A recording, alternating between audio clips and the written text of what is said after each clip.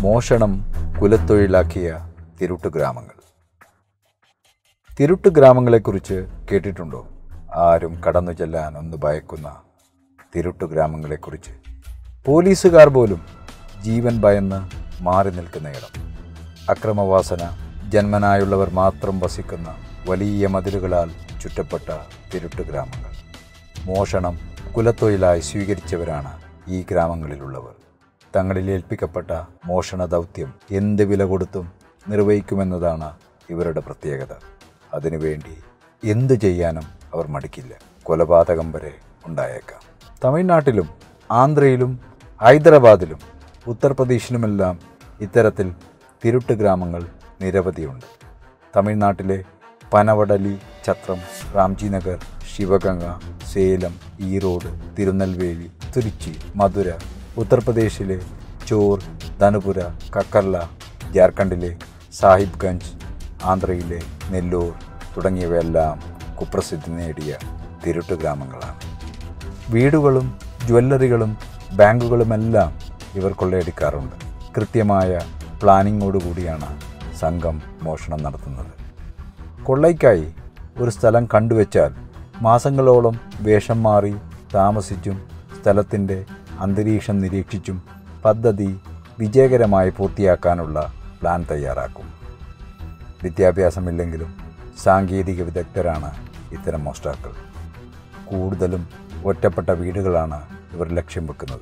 കേരളത്തിലുണ്ടായിട്ടുള്ള പല jewellery bank കൊള്ളകളുടെ അന്വേഷണം ഒടുവിൽ ചെന്നെത്തുന്നത് ഇത്തരം ഗ്രാമങ്ങളിലാണ്. അപൂർവം ചിലതിൽ പ്രതികൾ വലയിലാകുന്നു. എന്നാൽ മിക്ക കേസുകളിലും പ്രതികളെ തിരിച്ചറിഞ്ഞാലും ഇത്തരം ഗ്രാമങ്ങളിൽ കടന്നു ചെല്ലാനുള്ള തടസ്സങ്ങൾ മൂലം പോലീസുകാർ പിന്മാറുന്നു. ഉത്തർപ്രദേശിലെ ചോർ ഗ്രാമത്തിലുള്ളവർ പട്ടാപകൽ പൊതുസ്ഥലങ്ങളിൽ വരെ മോഷണം നടത്തുന്നവരാണ്. സ്യൂട്ട് കേസുകളോ ബാഗുകളോ ഉടമസ്ഥർ അറിയാതെ എടുത്ത ശേഷം അതിനുള്ളിലെ വിലയേറിയ വസ്തുക്കൾ മോഷ്ടിച്ച് ബാഗ് തിരികെ വെക്കുന്നതാണ് ഇവരുടെ രീതി. ഹൈദരാബാദ് നെല്ലൂർ തമിഴ്നാട് തുടങ്ങിയ സ്ഥലങ്ങളിലെ നിരവധി വൻ സ്വർണ കവർച്ചകളിലെ പ്രതികളാണ് ഈ ഗ്രാമത്തിലുള്ളവർ. ഇവരിൽ തന്നെ വീട് കൊള്ള നടത്തുന്നവരും കാലികളെ മോഷ്ടിക്കുന്നവരുമായി രണ്ട് വിഭാഗങ്ങളുണ്ട്. ഇതിൽ ചില വിഭാഗക്കാർ മധുരയിൽ രാത്രി കാവൽക്കാരായി ജോലി ചെയ്യാറുമുണ്ട്. ഒരു കള്ളന്റെ പ്രദേശത്ത് മറ്റൊരു കള്ളൻ മോഷണം നടത്തുകയില്ല എന്ന പ്രത്യേകതയും ഇവർക്കിടയിലുണ്ട്. തിരുട്ടു ഗ്രാമങ്ങളിലെ മോഷ്ടാക്കളുടെ ചില പ്രത്യേകതകൾ എന്തെന്നാൽ എത്ര ചോദ്യം ചെയ്താലും ഇവർ യഥാർത്ഥ പേര് ഒരിക്കലും വെളിപ്പെടുത്തില്ല. മോഷണം നടത്തുമ്പോൾ വീട്ടുകാർ ഉണർന്നാൽ ആക്രമിച്ചാണെങ്കിലും രക്ഷപ്പെടും. പലപ്പോഴും കൊലപ്പെടുത്തുകയോ ബോധരഹിതരാക്കുകയോ ചെയ്തിട്ടാണെങ്കിലും മോഷണം നടത്തിയ ശേഷം മാത്രമേ ഇവർ മടങ്ങുകയുള്ളൂ. ഓടിളക്കിയും കഥകിന്റെ കൊളുത്ത് ഡ്രിൽ ചെയ്ത് ഇളക്കി മാറ്റിയും ഉളി ഉപയോഗിച്ച് കഥക് തകർത്തും പെട്രോൾ ഉപയോഗിച്ച് വാതിൽ കത്തിച്ചും ഇവർ അകത്ത് കിടക്കും. ഒട്ടുമിക്ക കഥകുകളും തുറക്കാനുള്ള താക്കോൽ ഇവരിലുണ്ടാകും ജനൽ കമ്പി വളച്ച് അകത്ത് കടക്കാനും വിദഗ്ധരാണിവർ. ഒരു ഗ്രാമത്തിന്റെ മുഴുവൻ പിന്തുണയോടും കൂടിയാണ് സംഘം മോഷണത്തിനിറങ്ങുന്നത്. പദ്ധതി തയ്യാറാക്കിയാൽ ഗ്രാമമുഖ്യന്റെ ആശീർവാദം വാങ്ങി ആരാധനാലയങ്ങളിൽ അനുഗ്രഹം തേടി ജപിച്ച് ഏലസ് കെട്ടിയ ശേഷമാണ് സംഘം പുറപ്പെടുന്നത്. ഇവരിൽ പുരുഷന്മാരെ കൂടാതെ സ്ത്രീകളും കുട്ടികളും ഒക്കെ ഉണ്ടാകും. സംഘങ്ങളായാണ് ഇവർ പുറപ്പെടുന്നത്. അന്യ സംസ്ഥാനങ്ങളിൽ വരെ വലിയ മോഷണങ്ങൾ നടത്താറുണ്ട്. സ്ഥലത്തെത്തിയാൽ മുറിയെടുത്ത് മാസങ്ങളോളം കുടുംബം പോലെ ജീവിച്ചാണ് പ്ലാൻ തയ്യാറാക്കുക. ഇതിനിടെ ജോലികളിൽ ഏർപ്പെടുകയും ചെയ്യും.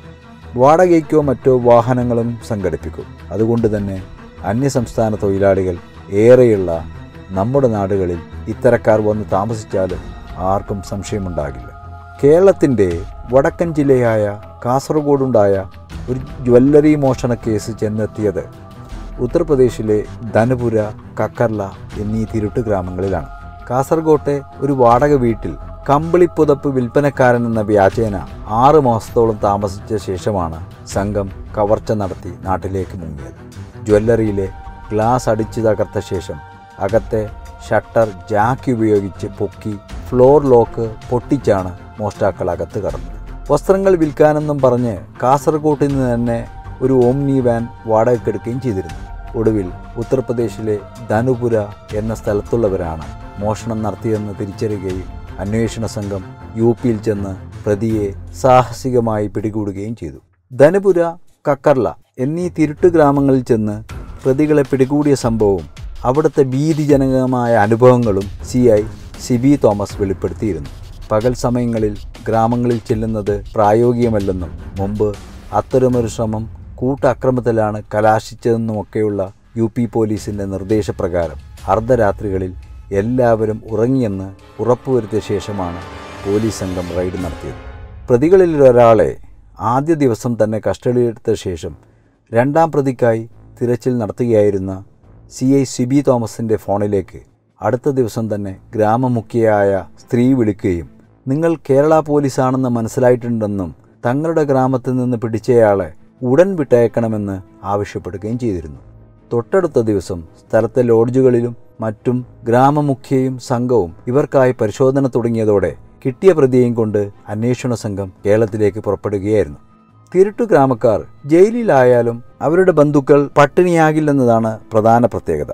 ഗ്രാമത്തിലെ മൂപ്പന്റെ അറിവോടെ മോഷണത്തിനായി പുറപ്പെടുന്ന സംഘം ഓരോ മോഷണം കഴിയുമ്പോഴും ഇതിന്റെ വിവരങ്ങളും ആരെങ്കിലും പിടിയിലായിട്ടുണ്ടെങ്കിൽ ആ വിവരവും അപ്പോൾ തന്നെ ഗ്രാമത്തിലേക്ക് കൈമാറും. അവിടെ നിന്നും ഇടപെടലുകൾ നടത്തിയാണ് നിയമസഹായം ഉൾപ്പെടെ കാര്യങ്ങൾ ചെയ്തു കൊടുക്കുന്നത്. കവർച്ച നടത്തി ലഭിക്കുന്ന വരുമാനത്തിന്റെ നിശ്ചിത വിഹിതം ഗ്രാമമൂപ്പനെ ഏൽപ്പിക്കണം. ഈ തുക ഉപയോഗിച്ച് കവർച്ചയ്ക്കിടെ ജയിലിലായ ആളുകളുടെ കുടുംബങ്ങളെ സഹായിക്കും. ഇത്തരത്തിൽ കുടുംബത്തിലെ ഒരംഗം ജയിലിലായാൽ പകരം മറ്റൊരംഗം മോഷണ മേഖലയിൽ സജീവമാകണമെന്ന നിബന്ധനയും ഇത്തരം ഗ്രാമങ്ങളിലുണ്ട്. ഇതിന് തയ്യാറാകാതെ വന്നാൽ സഹായവും നിലക്കും. മോഷണത്തിലേക്ക് കടക്കുന്നവർക്ക് പ്രത്യേക പരിശീലനവും നൽകും.